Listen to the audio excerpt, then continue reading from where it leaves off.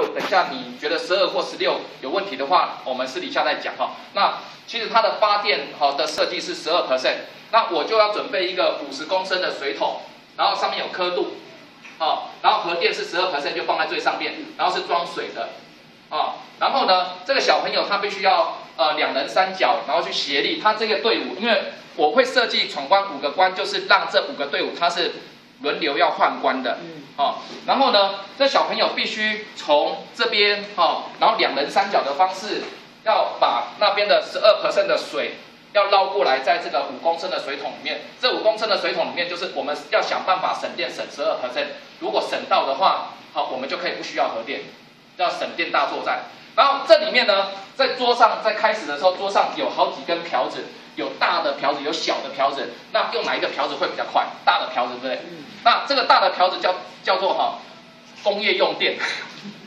好，然后还有这个我们要按大小，然后让让他知道说，原来我们的民生用电只占二十 percent 而已，然后那个工业用电那个瓢子特别大，好，如果要省十二 percent 下来的话，工业用电要先检讨，但是没有想到这个工业用电是有动的，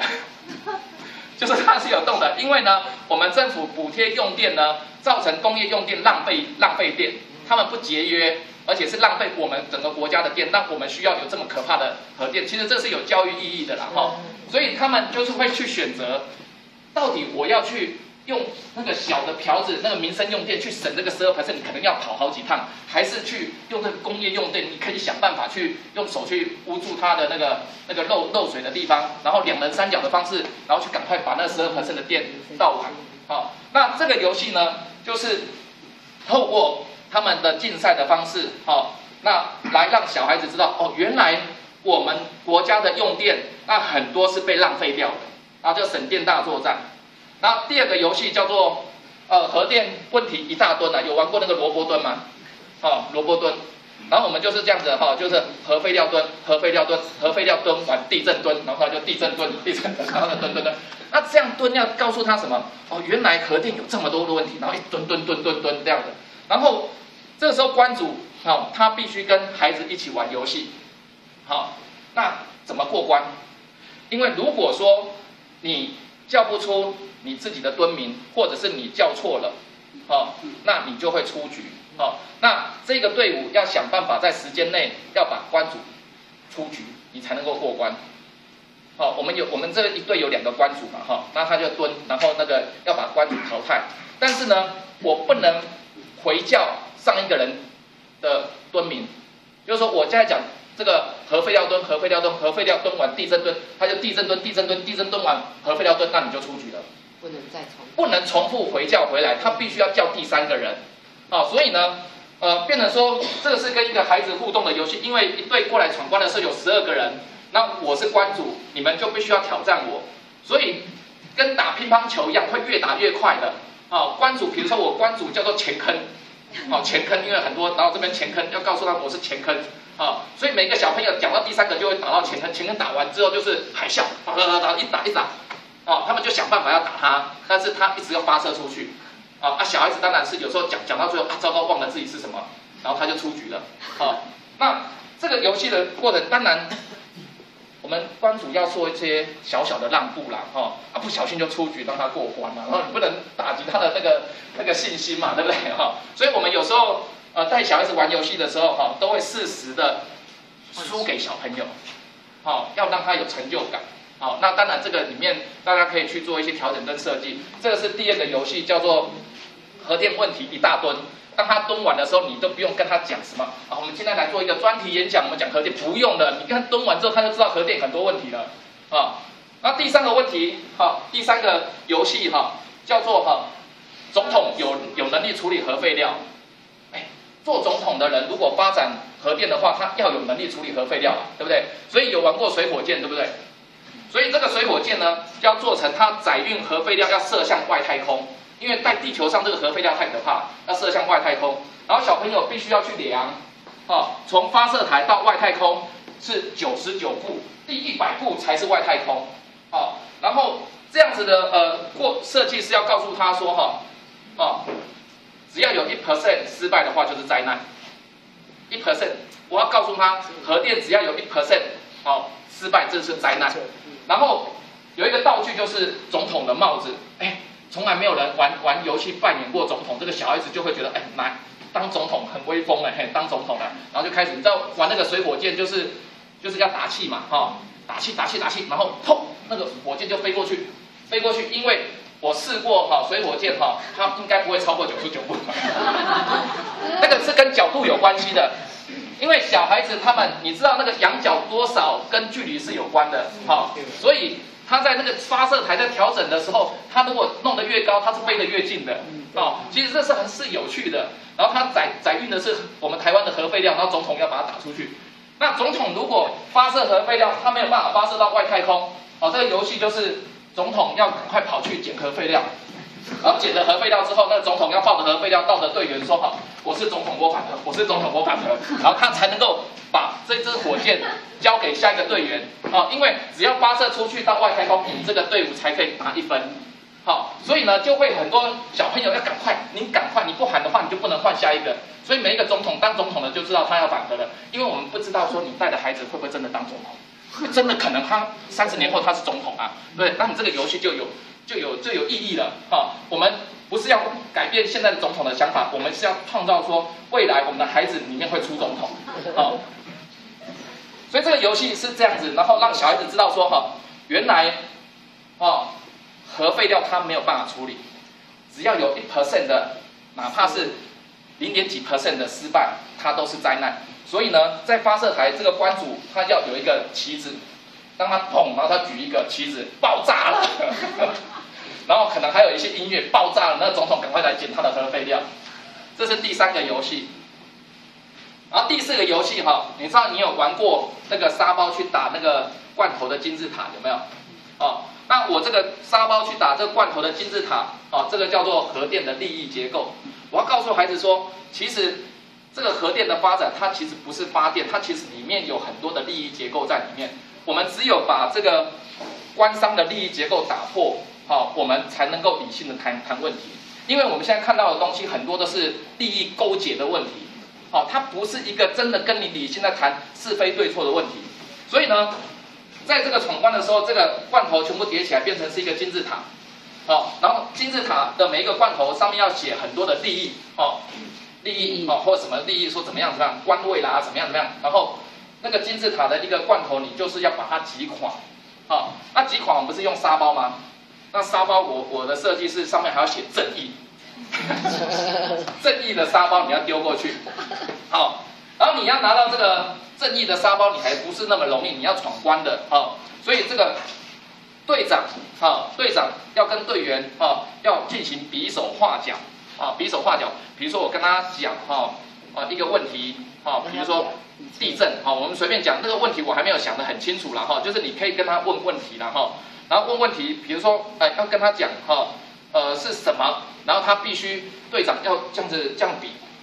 这是什么？爆炸，爆炸。然后那个队员就要猜答案是什么。那如果猜对的话，他才能够拿到一颗正义的石头，然后去把那个呃核电的结构哈利益结构击破哈。如果这个罐头全部被推倒的时候，你才可以过关。那第四关要讲的就是。你玩完游戏，他就知道说，原来核电的问题不是只有发电的问题而已，它是有人要拿钱的问题。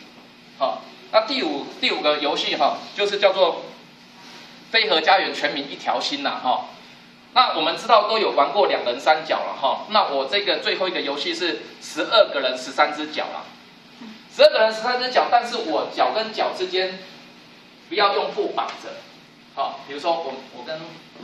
他好。然后，但是呢，我们是队长，这个是十二个人，然后有十三只脚。我们在出出发的时候，脚要一起一起动，但是是十二个人一起动，然后再走，好，一起动，好。这时候队长哈来，队长的口令只有一个，好，喊飞河家园才能就前进一步，然后前面十公尺是目的地，叫做二零二五年，好。然后呢，我喊飞河家园，然后才能动，好，飞河家园才能动，飞河家园啊，我如果分开了就要回去。如果我不小心错开了，我就要回去。哦，十二个人不容易十二个人不容易，哎，十二个人不容易不容易，哎。然后啊，可以，我玩过了，好玩过，哎，好玩过。他其实是一个默契的问题。你只要失败了几次之后，他就越来越有默契了哈。所以叫做飞河家园，全民一条心呐哈。那队长就要喊飞河家园，他才能够往前进。好，这时候关主要做什么呢哈？我们要设计一个，就是让小朋友知道说，如果你犯错了哈，你必须要承认。好，那你你如果脚分开，你就必须要回到起点，从头来。但是如果关主在旁边吹哨说你犯错的话，你的起点就往后延一公尺。他永远走不完呐，啊，走不完啊。所以，不是这个游戏就是，呃，因为我玩过，就是说哈，玩过几次之后，小孩子知道他自己做错，他会举手的。然后他举手的时候，这个整个团队会很有士气的。你知道犯错会有士气耶？他在犯错。他知道自己错，然后告诉大家我我错了，然后大家会回来，然后他会更小心，啊他会这个队伍就很容易达到这边哦，到到达目的地。那我也是意思说哈，其实，在配合的过程里面，大家蛮难免都会有有错误的，会有意见不同的时候，我们要学习包容他犯错，然后我们其实要有很多包容的心，然后做错事情呢，必须要能够勇于承认，然后跟大家一起合作。好，然后在这样的过程里面，就飞壳加有一条线，最后它能够在时间之内达到。好，那我设计的就是这两个大游戏跟五个闯关游戏。当然，呃，我最后一个哈跟一个华侨了哈，就是在国外念书的哈，他们在台湾这边哈，然后我就跟他讲说哈，这个游戏哈如果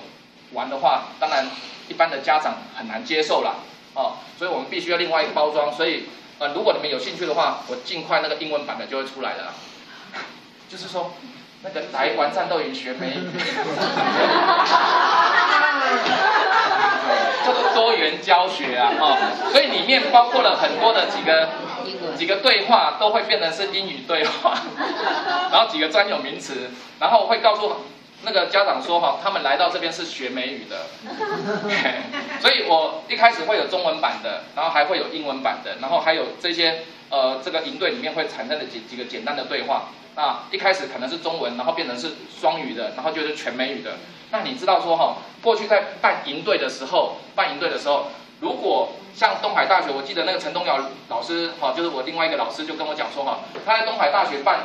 那个儿童营的时候，只要那个儿童营只要打出叫做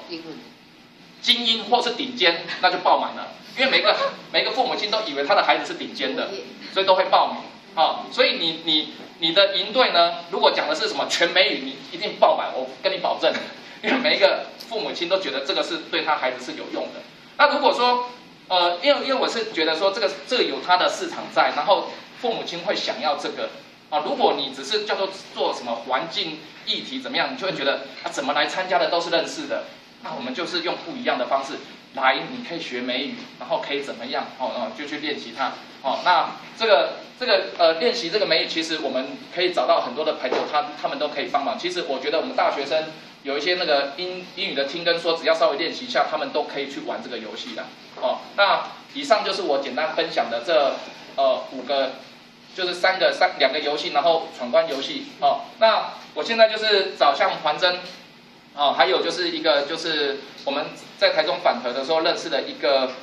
呃，朋友，然后他就他是做那个呃设计的，然后我就跟他讲说哈，我们应该要赶快去呃设计完之后，不是像一般的营队，我们是做完一次然后没有办法耐久的，我们必须让这个这个教具能够玩好多次，重复重复玩的。里面还有什么？里面还有那个呃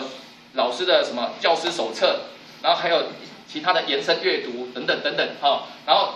小朋友玩完之后，还有一个小小的绘本让他去着色。啊之类的，就是这个东西其实要设计好，变成是一个叫做教材包。然后我跟他讲说，这个教材包弄好，然后我们把成本弄到最低，好，那这些我们只要有兴趣的朋友你来，好上完，然后这个教材包你带回去，你带回去马上里面所有的道具都有，你就可以开始玩。那我是希望说他尽快把这个道具设计出来，但是如果说他的道具还没有呃就是量产之前，其实你们就可以开始玩了。哦，那我就我就今天就是跟大家分享到这边，就是呃我的这个教教案的部分，然后我会寄给大家，然后你可以如果有兴趣，你可以跟我联络，你可以自己组一军的话，我说的一军就是十五个人，不管是呃南在在台北或者高雄、台中，你都可以玩，你是在学校里面你也可以玩，然后我们目标就是为了。